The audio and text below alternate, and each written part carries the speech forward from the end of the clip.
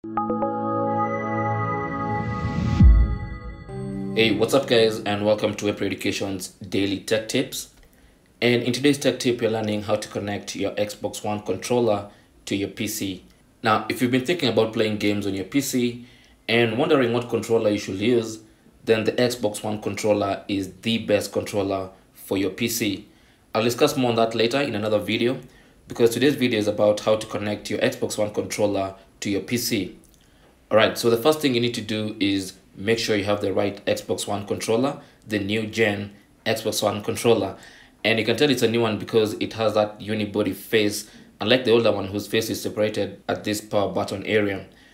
I'll leave a link to the new Xbox One controller down in the description below. Number two, make sure your computer has Bluetooth.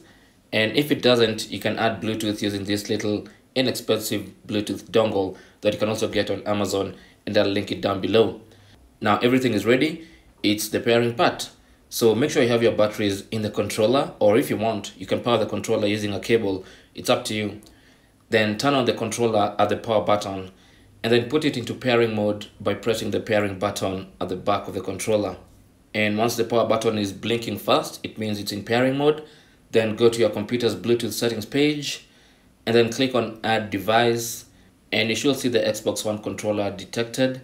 Click to pair and you're good to go. So now you can play your games comfortably and wirelessly on your PC using the Xbox One controller.